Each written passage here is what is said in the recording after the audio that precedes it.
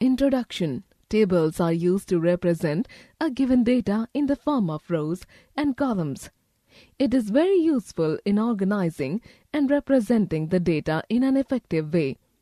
For example, if a shopkeeper wants to maintain the detailed list of the dresses available in his shop, a table will be a better option. A sample table is given below. A row is the horizontal series of cells in a table. A column is the vertical series of cells. The intersection of a row and a column makes a rectangular box called a cell. Inserting a table. There are three ways by which a table can be inserted in MS Word. Place the typing cursor in the document where you want to insert the table and do the following. Method 1. Using the grid option.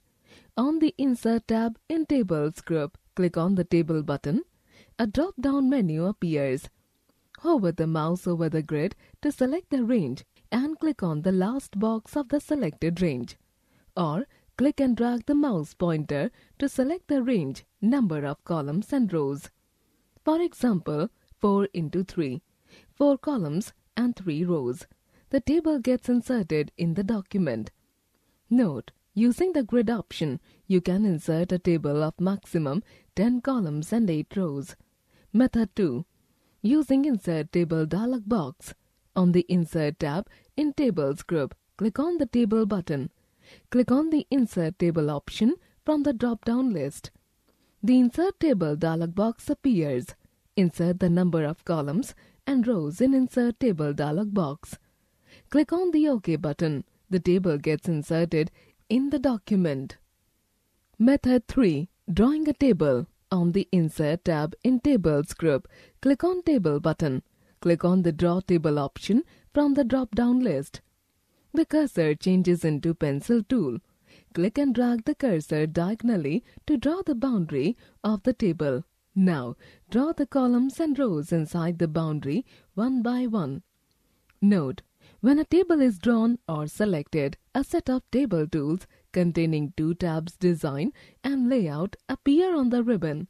As the name suggests, these tools contain the predefined sets of table designs and layouts.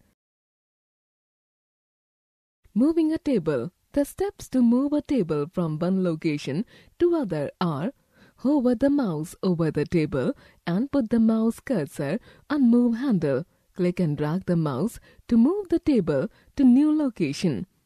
Release the mouse button. Adding rows and columns.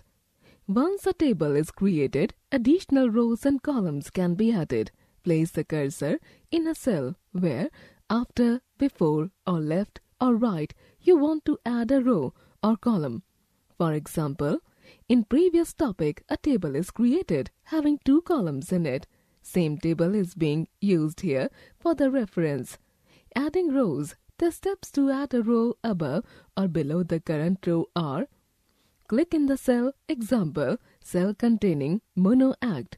Click on the Layout tab. In Rows and Column group, click on the Insert above to insert a new row above the current row or click on the Insert below to insert a new row below the current row. Adding columns. The steps to add a column to left or right of the current column are click in the cell Example, cell containing Mono Act. Click on the Layout tab. In Rows and Column group, click on the Insert left to insert new column on the left of the current column. Or click on the Insert right to insert new column on the right of the current column. Note, new rows and columns can also be added by context menu by right-clicking on the cell. Deleting rows and columns. After creating a table, unwanted rows and columns can be deleted. The steps to delete a row or column are Click in any cell of the row or column that you want to delete. Click on the Layout tab. In Rows and Columns group, click on Delete button. A drop-down list appears. Click on the Delete Columns option to delete the entire column or click on the Delete Rows option to delete the entire row. Note, click on Delete Table option to delete the entire table. Merging cells. Merging cells means combining two or more cells into one cell. The steps to merge the cells are Select the cells that you want to merge. Click on the Layout tab. In the Merge group, click on the Merge Cells button. Splitting cells. Dividing a single cell into multiple cells is called cell splitting. The steps to split a cell into two or more cells are Click in the cell that you want to split. Click on the Layout tab. In the Merge group, click on the Split Cells button. The Split Cells dialog box appears.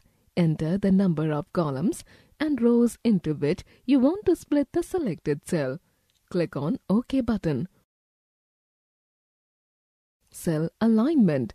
Cell alignment is basically the text alignment in a cell of a table.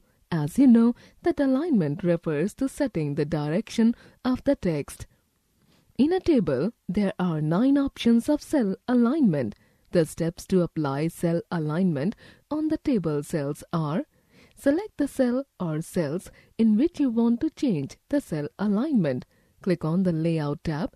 In the Alignment group, click on the required alignment. Note, by default, cell alignment is top left in table cell. Table Designs MS Word provides a set of predefined table designs that includes borders, colors, cell alignments, etc. The steps to apply a design on a table are Click on the any cell in the table, click on the Design tab, click on the drop-down arrow of Table Styles, a list of table design appears. Hover the mouse on the designs to select the design. Click on the desired design